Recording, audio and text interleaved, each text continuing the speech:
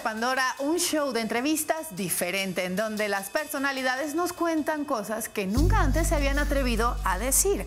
Hoy tenemos el gusto y el orgullo de estar frente a una leyenda del fútbol de nuestro continente. Él es Alex Aguinaga, todo un referente de la selección ecuatoriana y de la Liga Mexicana. Alex, prepárate, porque te prometo que te vas a entretener y vas a descubrir muchas cosas de ti en esta entrevista. Así es, así espero, Ceni. Muchas gracias. Un saludo a todos. Gracias por estar con nosotros. Un placer. ¿Comenzamos? Adelante. ¿Cuál es tu nombre completo? Alex Darío Aguinaga Garzón.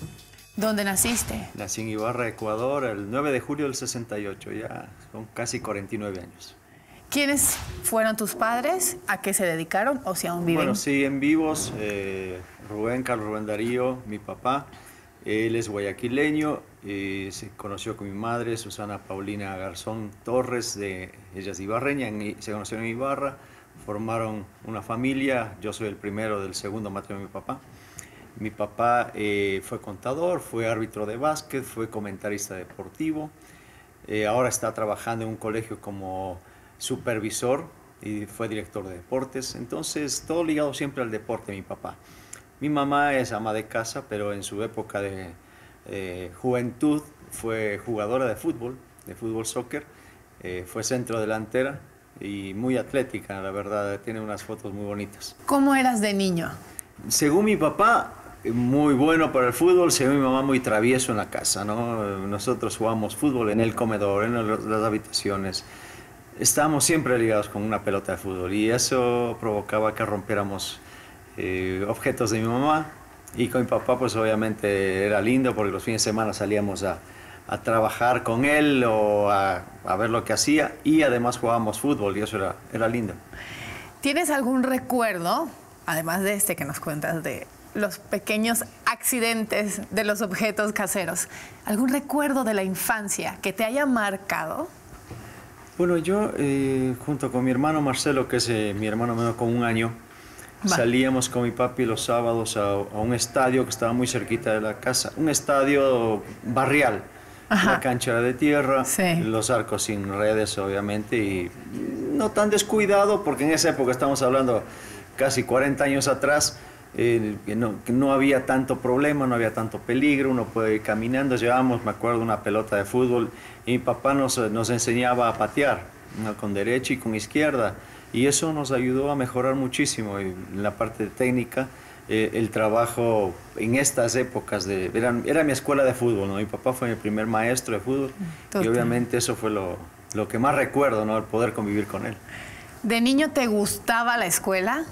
Siempre me gustó, porque para mí era una especie de, de no sé, de fantasía, porque teníamos el recreo, que era lo que más me gustaba, salíamos a jugar pero en el estudio nunca tuve problema, me gustaba, me gustaba el estudio, me gustaban las matemáticas, no me gustaba tanto eh, el tratar de memorizar las cosas, ¿no? la lectura y me gustaba más comprender lo que estaba leyendo. Siempre he sido más analítico que, que memoria, ¿no? y eso me, me sirvió mi vida. Y de ahí nos saltamos a tu adolescencia, ¿cómo fue? ¿Cómo ya, la podrías yo resumir? a los 16 años empecé a jugar profesional. Ya. Eh, jugué muy temprano, desde los 14 ya estaba en las divisiones menores del Deportivo Quito, donde empecé. Y a los 16 años, que es en la época de la adolescencia, ya estaba dedicado al fútbol. No tenía más opciones y tampoco quería otras opciones. ¿no? Yo quería jugar fútbol, no para dedicarme profesionalmente, sino porque me gustaba. Y me gusta todavía. Entonces, eh, mi adolescencia fue diferente a la de las otras personas eh, inclusive ahora con mis hijos, de repente que, ya son jovencitas, mis hijas sobre todo, que les gusta salir a los antros con los amigos y demás, eh, yo siempre me preocupo porque yo no fui de antro, yo no fui de fiestas, yo no fui de, de bares, lo mío fue la, eh, la disciplina, la cancha, la, el descanso, la alimentación, el juego de los fines de semana era mi trabajo, los fines de semana es la salida y llegar 2, 3 de la mañana, que es normal en estos jóvenes de, en la actualidad, pues hasta uh -huh. un poquito más tarde. Pero en mi caso no, y, y a veces eso chocamos con, con, mis hijos, ¿no? Pero yo creo que vamos, vamos entendiéndonos unos a otros. ¿Tienes pareja actualmente? ¿Cómo se sí, llama? ¿Qué nos puedes contar? Mi esposa es Catalina María Sol Sánchez. Ella es quiteña, vinimos desde hace, bueno, en el 89, ya más de 28 años. Mi, mi hijo Alex el mayor ya cumplió 26, 27 años, ya cumplió 27 años. mis hijas van a cumplir 25 y 20. Eh, con mi esposa, bueno, nos conocimos por, por, el fútbol básicamente y de ahí en adelante hemos estado juntos.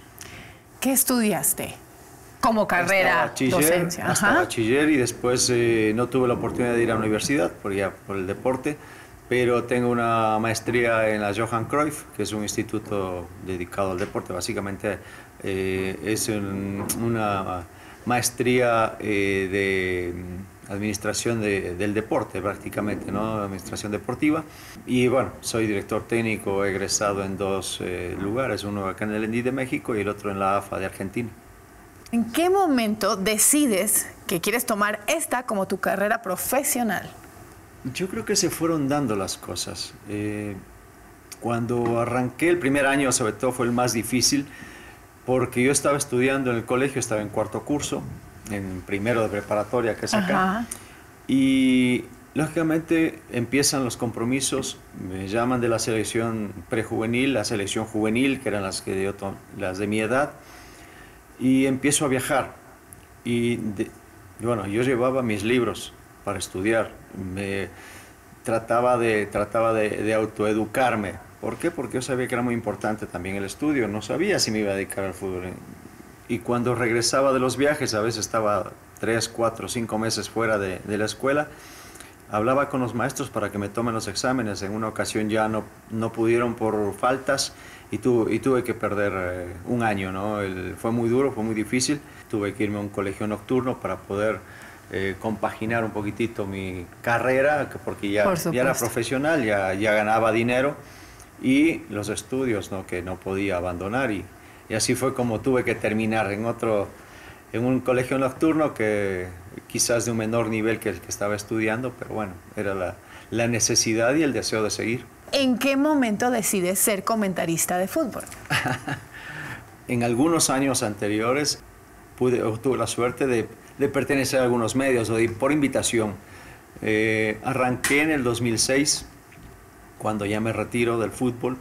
Me invitan a ir al Mundial de, Alemania, porque la selección había calificado. Y una cadena de Ecuador me invita eh, a, ser parte de su, de su grupo de trabajo. Entonces vamos a, hasta Alemania a ser comentarista deportivo. Estuve prácticamente un poquito más de un mes y fue agradable, fue bonito.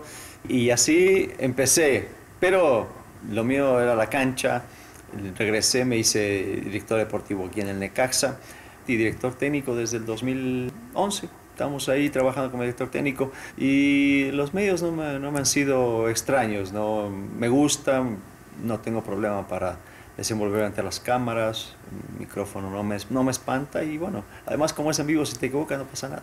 Solamente retomas, y sigues. ¿Cuál crees tú que ha sido hasta ahora tu mayor reto profesional? Eh, desde que arrancas en el fútbol, todos son retos. Todos los días son retos. Todos los días tienes que aprender. Y yo me levantaba todos los días ah, y pensaba ser el mejor. Ahora estoy en un reto importante. Estamos trabajando en la cadena de Fox, en Fox Sports, y, y buscamos también dejar algo dejar algo, enseñar algo y aprender mucho, porque se aprende más de lo que se enseña. ¿Cuál es tu comida favorita? En Ecuador los platos típicos a mí me fascinan. Acá en México los chilaquiles es uno de mis platos que, siempre me, agrada por, bueno, por la forma en cómo los preparan sobre todo. No, no soy afecto al, picante, no me gusta el chile. Eh, no puedo, no lo tolero. Por ahí la barbacoa, pero no me gusta el, sabor muy salado, no, no, esa parte no me gusta. El picante y la barbacoa son como eh, cositas que podríamos poner en rojo. Sí, eso sí, lo ponemos a un lado. ¿Cómo sería tu día ideal? A ver, es que no hay día ideal porque eh, hay momentos en que uno necesita descansar. A mí me gusta mucho la actividad, hacer gimnasio. Ahora estamos con mi hija, sobre todo, vamos a un gimnasio a hacer un poquito de, de box y, te sirve para mantenerte físicamente bien. Pero también hay días en que uno quiere estar descansando, quiere relajarse, estar con los hijos en la cama viendo una película o ir al cine, salir a comer. Hay, hay un montón de, de cosas. No, no, podría definir un día perfecto o un día feliz. ¿no? Yo creo que todos los días tienen su, su afán y hay que, hay que aprovecharlos. ¿Quién es tu personaje favorito de la historia? De la historia, a ver, muchos decimos que Jesús por lo que, por lo que nos han inculcado la creencia desde uno eh, cuando es muy niño, ¿no? Y hay cosas en que yo creo que compartimos mucho con él, el hecho de ser una persona humilde, de salir de abajo, de entregarse al máximo en lo que, le, en lo que él estaba haciendo. Eh, hay personajes como Simón Bolívar, ¿no? que Simón Bolívar fue un libertador, fue una persona que en su juventud, su niñez fue eh, de, de, mucho dinero, fue adinerado y dejó todo para salvar varios pueblos. ¿no? Ahora los políticos son al revés, llegan, arrancan pobres y se hacen millonarios. Entonces, eh, yo creo que esos son los personajes que, que marcan una, una, vida y lógicamente los personajes más cercanos, el, ves el esfuerzo de tus padres. Mi papá que tenía hasta tres trabajos en el día para poder mantenernos. Era su manera de decirnos te amo y eso para mí fue muy importante. Por supuesto. ¿Cuál es tu programa de televisión o serie o inclusive película favorita? Bueno, eh, por épocas, ¿no? La película que más me gustó eh, o me, me, ha gustado a través de la historia es La vida es bella. Eh, yo creo que es una, una película muy linda, desarrollada en un momento muy duro del, del mundo. Está desarrollada en la época del holocausto nazi y, y habla del amor fraternal, del amor de padre, y, y, la protección que se le da a los hijos, ¿no? a la familia. Sí, exactamente. Es una de las películas que más, eh, más me ha marcado. ¿Cómo te describirías, Alex, en tres adjetivos? Ah, caray. Yo soy una persona honesta. Soy una persona religiosa no creyente, o creyente no religiosa, mejor dicho. Ajá, creo exacto. en Dios, pero no creo en la iglesia. En la estructura, por en decirlo la estructura de, de esa la forma. iglesia, cómo se la, cómo se la manejó a través de la historia. Soy bueno, nada más. ¿Y habrá algo que no te guste o inclusive que odies de ti? Yo creo que el desorden es una de las partes que no, que no me gusta, no me gusta para nada. ¿Cuál es la mala palabra que más utilizas? A ver, mala palabra. Casi no soy mal hablado. Eh, carajo es una de las que, digo, es una, una palabra no, no, muy fuerte. En Ecuador sí es muy fuerte. Y en Ecuador, la que no es muy fuerte y aquí es muy fuerte, la de pendejo. Esa es como que la tenemos todos porque y sí. eh, ya la escuchas tanto que la manejas muy... Y es, una, y es algo como muy cultural, como sí. de, de, Guatemala hacia abajo no tiene un significado tan, tan pesado fuerte. como Ajá. lo tiene en México, exactamente. Sí, así es. Allá, por ejemplo, perdón, el cojudo sí. es una palabra muy fuerte. Y aquí no. Es parecida a la de pendejo acá, ¿no? Sí, en exactamente. No en Panamá es tonto también. No es una palabra muy fuerte. Aquí es muy fuerte. ¿Y habrá alguna palabra que te moleste escuchar o que no te guste que la gente ande diciendo por la calle?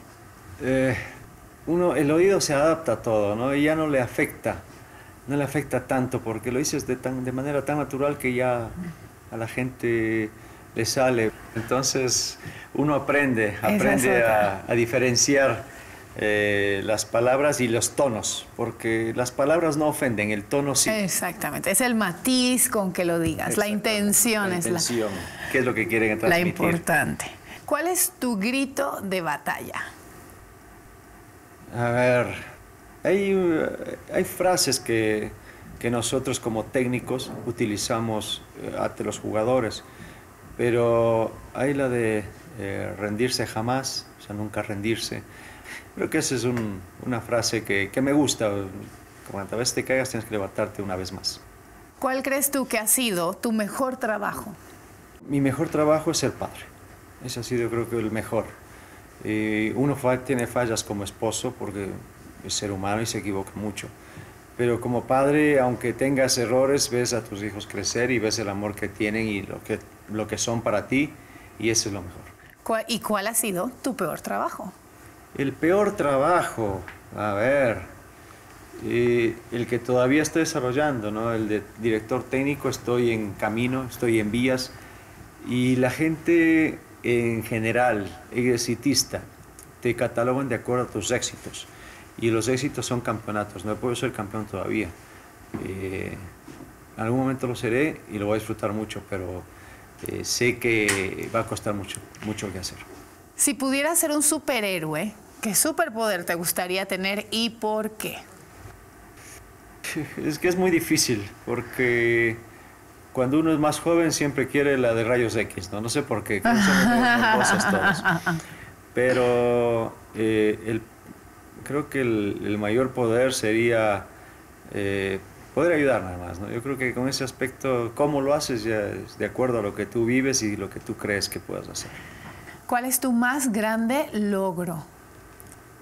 ver a mis hijos eh, crecer y, y ser mejores seres humanos. La profesión no me interesa.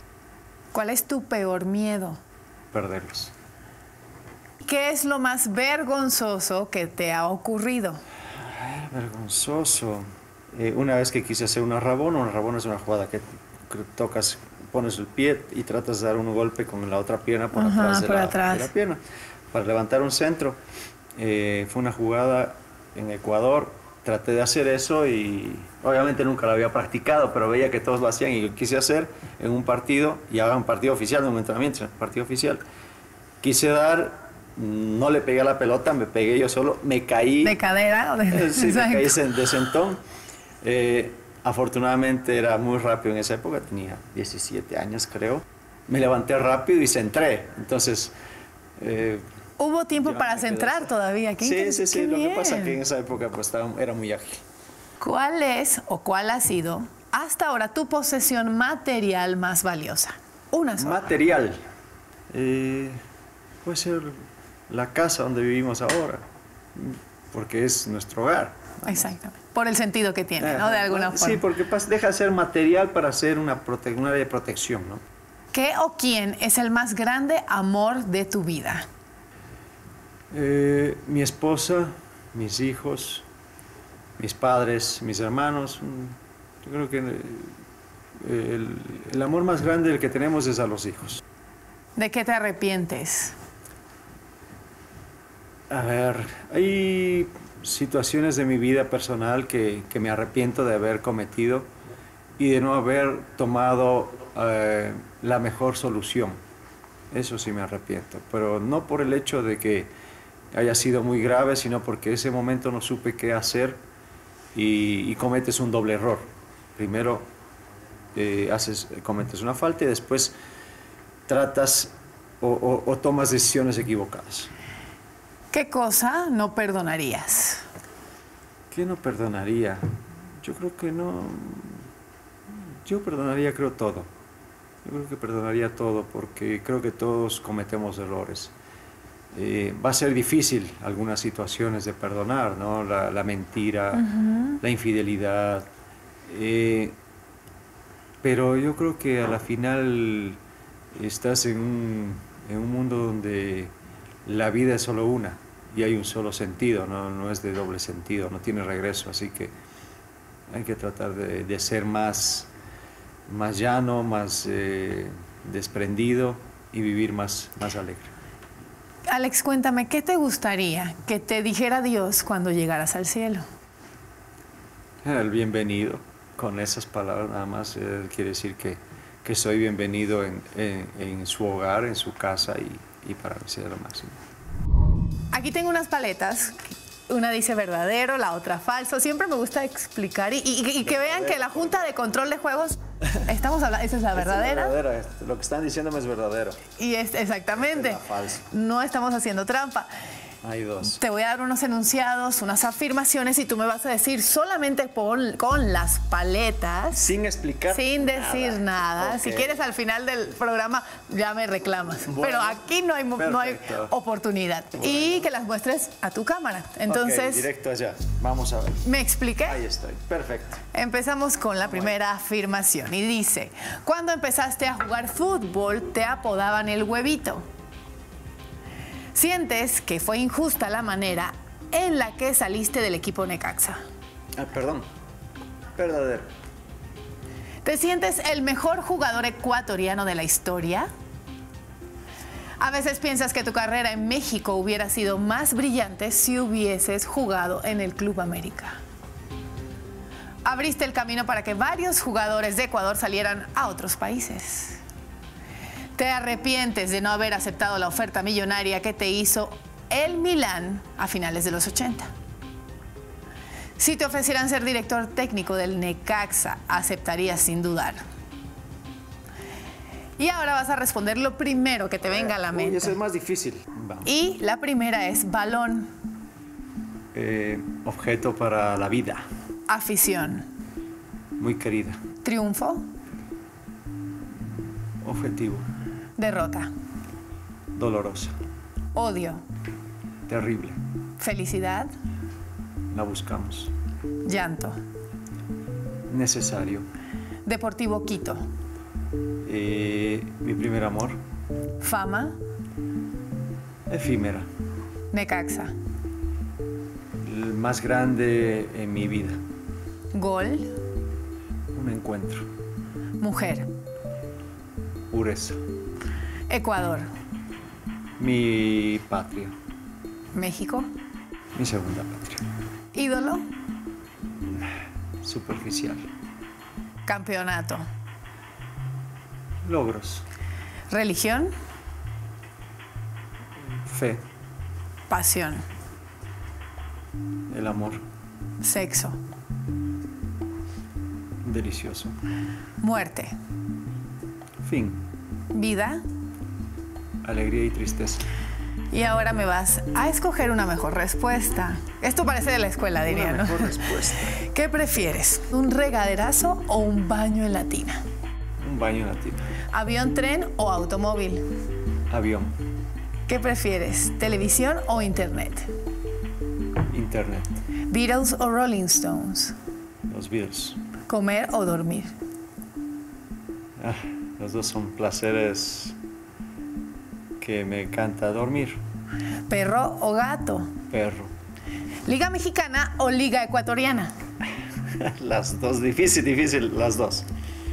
¿Dormir en pijama o desnudo? Siempre duermo con algo, pero me gusta dormir desnudo también. ¿Tacos o sándwiches de pernil? A ver, eh, más el sándwich de pernil porque no lo pruebo todo el tiempo. Aquí tengo los tacos. ¿Guapo y pobre o feo y rico? Soy feo y pobre. ¿Messi o Ronaldo? Eh, Messi. ¿Películas o libros? El libro cuando estoy solo, película cuando estoy con mi familia. ¿Fútbol o sexo? Eh, también las dos. ¿Arriba o abajo? También las dos. ¿Carne o vegetales? Carne. ¿Playa o bosque? Me gusta la playa, pero no la arena. El clima de la playa. ¿Presente o futuro? Presente. Y ahora te voy a hacer una pregunta, pero no tenemos más que un minuto para responderla. Ok. Los exjugadores son mejores comentaristas y analistas deportivos que aquellos expertos que nunca han pasado por una cancha profesional, sí o no, y por qué. Sí son mejores porque tienen la doble visión, la posibilidad de explicar a la gente qué es lo que ellos vivieron cuando estaban en una cancha y poder explicar por qué en algún momento se toman diferentes decisiones, a veces inmediatas, de reflejos, a veces pensadas en el caso de un técnico. Creo que eh, los periodistas eh, les cuesta todavía esa parte porque no lo, no lo vivieron de la manera en que lo vimos nosotros, con los camerinos, con los sufrimientos, con los insultos, con los halagos. Entonces yo creo que en ese aspecto tenemos una ventaja, pero la prensa tiene una ventaja muy grande también, que es la facilidad de palabra y el, el conocimiento que a través de los años desarrollan. Muy bien, y tienes toda la razón. Es que lo que se vive no se puede se puede explicar. aprender. Así es, así es. No se compra. ¿Qué haces ahora? Ya nos comentaste un poquito, pero me gustaría que te extendieras un poquito más acerca de lo que estás haciendo ahorita profesionalmente y cuáles son tus planes a mediano y largo plazo. Dejé de dirigir ahora en diciembre. Estuve dirigiendo dos años en Ecuador. Mi familia quedó acá. Y eh, terminé muy cansado, muy agotado. Física y mentalmente, sobre todo la parte mental. Eh, necesitaba un descanso, un break. Y en este momento eh, estoy trabajando en Fox Sports. Creo yo que era lo más razonable y lo que me gusta también, ¿no? Porque realmente lo disfruto. Si no lo disfrutara, creo que no, no lo estaría haciendo. No estarías ahí, exactamente. Eh, soy de personas que trato de disfrutar lo que hago. Es agradable. A mí me gusta mucho lo que estoy haciendo. Me divierto mucho. Trato de disfrutar cada noche, de, de dar lo mejor, de ser lo más ecuánime posible, pero siempre sincero, eh, honesto sin ser hiriente. Sé que hay muchos directivos que se van a enojar por lo que diga, pero bueno, es lo que yo pienso. Hay muchas, muchos técnicos que no les gustará lo que se dice, pero también son opiniones, no necesariamente tenemos la verdad. Es correcto. Pero es nuestra verdad. Alex, ¿qué cosa no te hemos preguntado y te gustaría aquí contarnos hoy? Bueno, que a través de mi vida eh, me, me, ha gustado ayudar, que te lo hemos dicho. Cuando estaba en la escuela ayudaba a mis compañeros de repente con algunos, algunas tareas. Claro. Eh, en los equipos que estuve siempre me acercaba a los más jóvenes para ayudarles a mejorar sus deficiencias, les daba consejos, aún ahora lo hago como técnico más todavía. Soy embajador de, de, de Olimpiadas Especiales en Latinoamérica, eh, sobre todo y soy asesor en el, lo que es fútbol para Olimpiadas Especiales, porque los atletas, los chicos, lo que quieren es competir, no que los veamos como pobrecitos, ni, ni mucho menos. No son tontos, son genios en realidad, son, son chicos brillantes y son atletas, quieren participar y quieren competir.